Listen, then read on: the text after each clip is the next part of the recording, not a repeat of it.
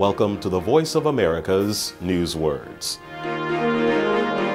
This news word is about a Powerball lottery winner in the United States.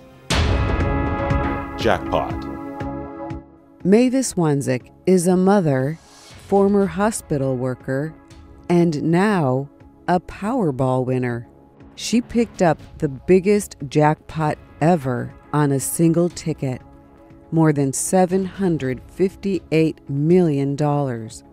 A jackpot is a large amount of money won in a game of chance. To hit the jackpot means to have unexpected success or good luck.